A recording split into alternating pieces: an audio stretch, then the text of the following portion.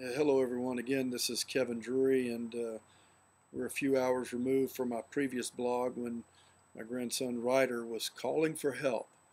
His pioneering and uh, investigating and uh, exploration got him into a little bit of a jam, and uh, he needed rescuing from his peepaw.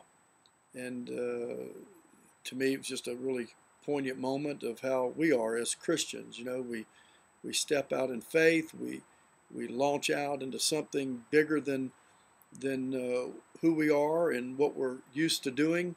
And sometimes we get stuck. It reminds me of Peter. You know, Peter made a bold move uh, when Jesus invited him to come out onto the water. Interesting, the other disciples, you know, didn't leave the boat, but Peter did, and uh, and he got out on the water and got into some trouble. And everybody kind of makes fun of Peter. They laugh at him uh, for his uh, failure to walk on water.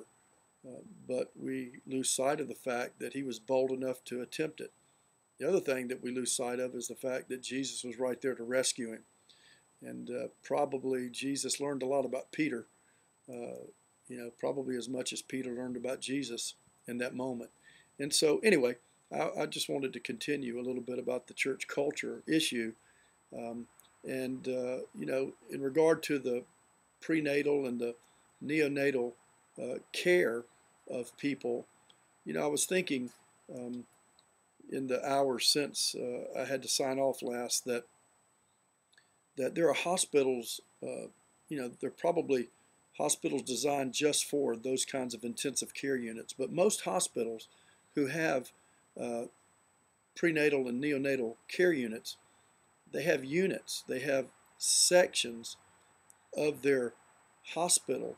And if you would allow me the freedom to do it, to say aspects of their ministry, because they're really ministers uh, to the sick, to the hurting.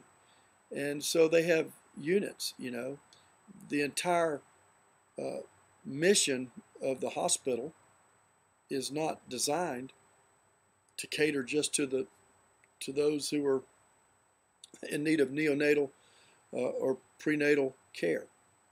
And so, anyway, uh, you know, our churches, our churches should not be designed to take care of only those who are seeking God or those who are immature in God.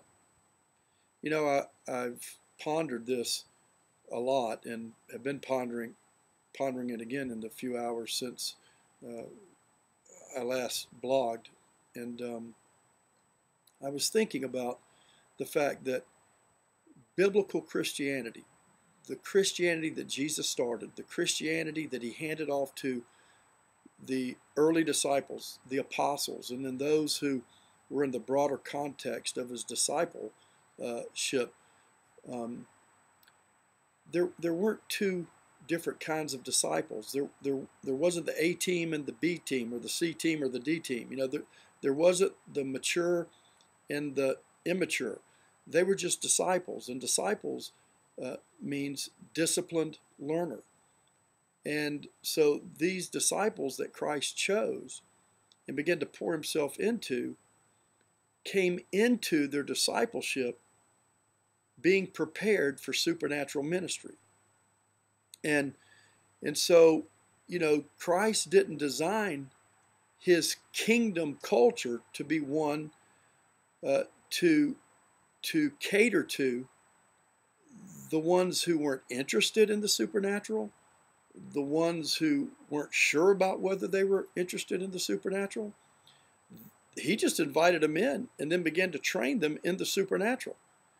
And so, you know, I've been thinking about it. And I've been thinking, you know, I just can't imagine Jesus calling people out of the multitude of people who were gathered around him and saying, okay, hey, you people who are really gung ho about following me and what I'm doing, you come on over here. Now, the rest of you that aren't sure, that are just kind of seekers trying to they're just you just want to hang out, hang around to see if it's something you might be interested in. You stay way back in the back because you know we don't want you to get any collateral damage from from this supernatural activity and the warfare that it's going to uh, enlist.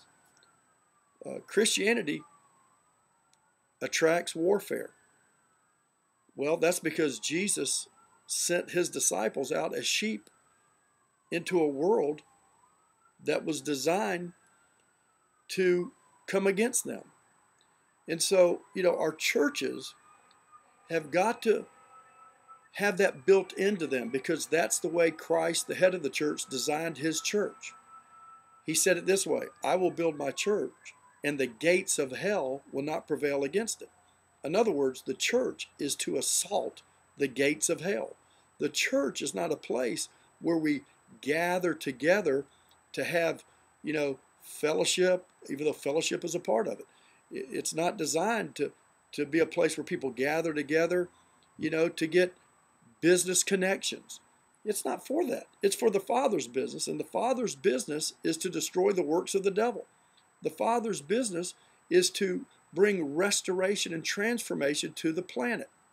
And so, you know, as I've as I've just continued to think through this, I just I want to encourage you.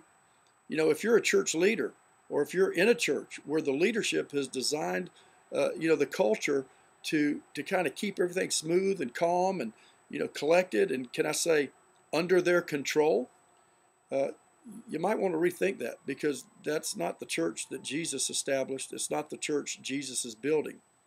Jesus is building a warship, and it's built on the basis of an apostleship. And apostles by nature are people of courage, and they advance. And God expects, and Jesus expects his church to advance his kingdom against the gates of hell.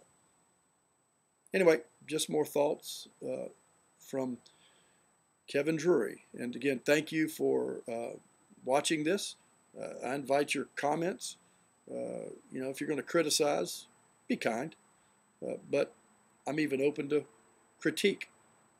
God bless you and have a great day.